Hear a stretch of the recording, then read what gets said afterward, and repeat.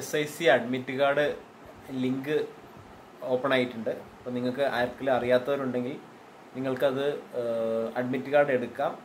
July ഏഴാം തീയതിയാണ് exam അപ്പോൾ എല്ലാവരും അഡ്മിറ്റ് കാർഡ് എടുക്കുക. എക്സാം ഹാളിൽ കറക്റ്റ് സമയത്ത് എത്തുക. പഠനം ഊർജിതമാക്കി കൊണ്ടുപോവുക. നല്ല രീതിയിൽ പഠനം കൊണ്ടുപോവുക.